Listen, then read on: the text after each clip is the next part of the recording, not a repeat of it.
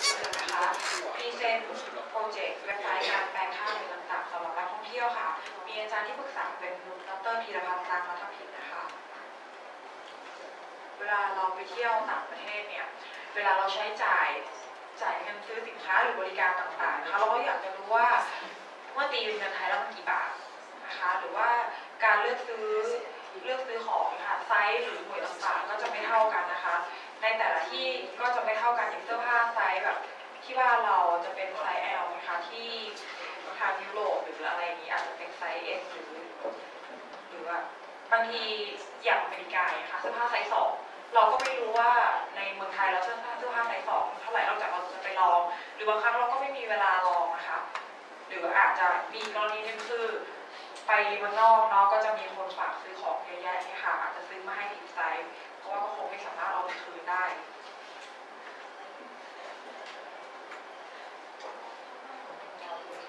คื อขอบเขตของโครงงานนะคะ จากจากอ่าแรงจูงใจเมื่อกี้นะคะ คืออยากจะทำเป็นเว็บแอปพลิเคชันที่แปลงค่าหน่วยทุกอย่างที่มันเป็นสำหรับนักท่องเที่ยวขึ้นมาค่ะโดยออกแบบหน้าจอให้มีการใช้งานได้ง่ายที่สุดนะคะกรอบในการทำงานค่ะมีการแปลงค่าเท่าที่คิดไว้นะคะเท่าที่คิดว่าน่าจะจำเป็นสำหรับการไปเที่ยวต่าง อัตราการแลกเงิน อัตราการแลกเปลี่ยนเงินตราต่างประเทศค่ะน้ำหนักความยาวความยาวหรือว่าส่วนสูงนะคะขนาดรองเท้าขนาดเสื้อผ้าพื้นที่อุณหภูมิแล้วก็เวลาทั่วโลกนะคะโดยการหลักการทำงานเนี่ยคือใส่ตัวเลขแล้วก็เลือกประเภทหน่วยที่ต้องการแปลงค่านะคะพิมพ์ค่าตัวเลขเข้าไปคลิกเลือกหน่วยที่ต้องการแปลงแล้วจะแสดงผลออกมาในหน่วยที่เราต้องการค่ะ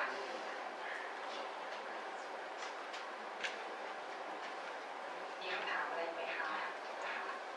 ผมผม จะไปเดินทางบ่อยๆแล้วก็ชอบที่มี converter นะ ค่ะแต่ถ้าผมไปช้อปปิ้งไหน ผมไม่มีอินเทอร์เน็ตในกระเป๋าคือจะเอ่อทำไมคุณเลือกเป็นเว็บแอปพลิเคชันไม่ใช่เป็น Android Android จะน่าจะดีกว่าใช่ไหมค่ะดีกว่าแต่ว่าคือถ้าเป็นอย่างเว็บแอปพลิเคชันเนี่ยค่ะ จะคือจะจะมี การเปลี่ยนแบบเรื่องอัปเดตการค่าเงินอัปเดตของค่าเงินนะคะ Android ก็ก็อัปเดตก็ได้เนอะนะควรจะทำเป็นแอปในมือถือมากกว่าใช่ไหมคะใช่เพราะว่าถ้าไม่มีอินเทอร์เน็ตก็ตายไปเลยเพราะว่าบางส่วนมาก conversion ไม่เปลี่ยนไปลิตรเปลี่ยนไปเป็นแกลลอนค่ะไม่ไม่เปลี่ยนแปลงแต่ว่ามีอย่างเดียวที่เปลี่ยนแปลงคือค่าเงินที่เปลี่ยนทุกวันครับหรืออุณหภูมิหรือ สิ่งแบบนั้นเลยครับค่ะก็จะมีเวลาที่บางทีก็เปลี่ยนฤดูก็จะเปลี่ยนเวลาบ้างนะคะ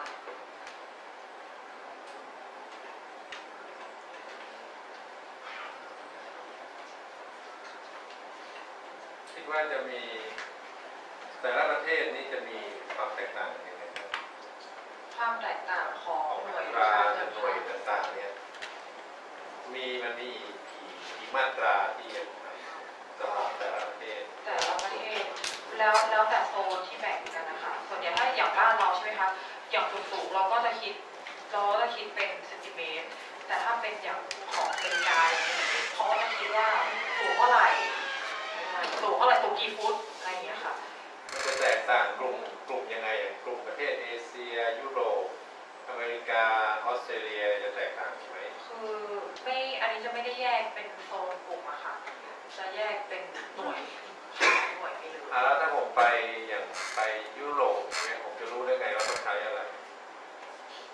ตราไหนเนี่ยอาจจะต้องมีการเพิ่มเติมในส่วนของแบ่งโซนขึ้นมาก็คงอย่างเช่นอยู่ประเทศไหนค่ะ เขาใช้มาตราอะไร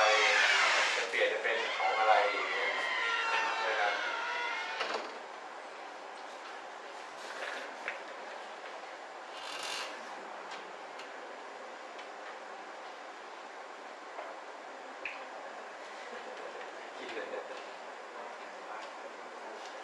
และเอ่อ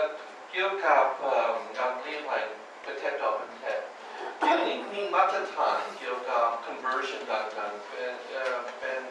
สำหรับโปรแกรมที่บอกว่า localization มีมากมายเช่นไปที่อินเดียเขาคิดเป็นหลักอ่าอ่าแรกเดี๋ยวสิบห้าแรกแล้วถ้าทำไมเป็นชาวอินเดียก็ไม่รู้ว่าแรกคืออะไร แต่ถ้าแต่ระบบของ Microsoft มียาวนานแล้วเป็นมาตรฐานไม่ทราบโปรแกรมคนคนคนจะจะอ่านมาตรฐานนั้นไหมและจะบริการโดยการใช้คอมพิวเตอร์มาตรฐานนั้นไหม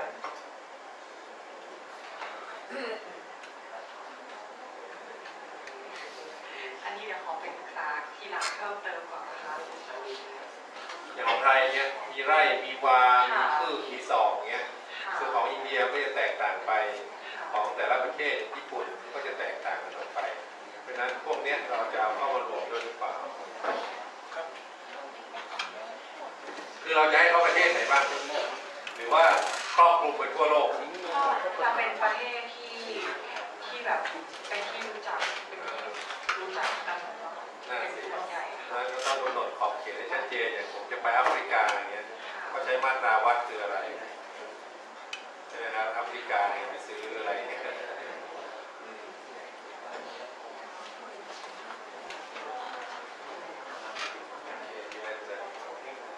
ยังไงยังไงก็แล้วแต่นะครับจากที่โทษนะฮะ ริงๆฮัลโหลฮัลโหลฮัลโหลฮัลโหลครับคืออย่างนี้นะครับ โปรแกรมที่คุณคิดเนี่ยมันเป็นสิ่งที่จำเป็นสำหรับนักท่องเที่ยวทุกคนอยู่แล้วนะครับค่ะมันต้องมีความเป็น portable นะฮะความ portable ก็คือว่าหนึ่งอาจจะต้องเป็นเว็บแอปโอเคถูกต้องค่ะแต่เว็บแอปเนี่ยไม่จำเป็นต้องแสดงผลบนคอมพิวเตอร์เสมอไปถูกไหมครับใช่ค่ะคุณก็ทำ template ออกมาสำหรับมือถือเพราะมัน detect ได้ดีครับว่าเป็น Android Android หรือเป็นเบราว์เซอร์รุ่นไหน แล้วก็ให้มัน generate นั่นแหละกลับมาเป็นหน้าเว็บอย่างที่เขาต้องการ นั่นจะดีมาก เวลาการอัปเดตข้อมูลก็จะง่ายนะครับหรืออย่างที่อาจารย์บ๊อบแนะนำว่าผมไม่มีอินเทอร์เน็ตคุณก็ให้ดาวน์โหลด currency ของ current date หรือว่า current currency ราคามันนะฮะเก็บไว้ในมือถือเลยค่ะนะครับอันนี้ต้องไปคิดต่อว่าจะทำได้ไหม ถ้าทำได้ก็จะเป็นอะไรที่สวยถูกต้องตามความต้องการการใช้จริงๆใช่ไหมเพราะคุณบอกว่าขนาดรูปที่คุณโชว์ครั้งแรกที่สองสาวเนี่ยแน่นอน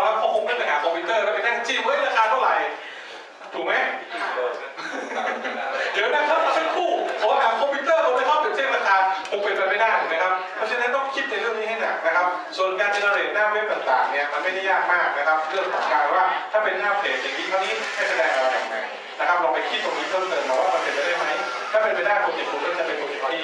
ถูกใช้จริงๆนะครับฝากไปดูด้วย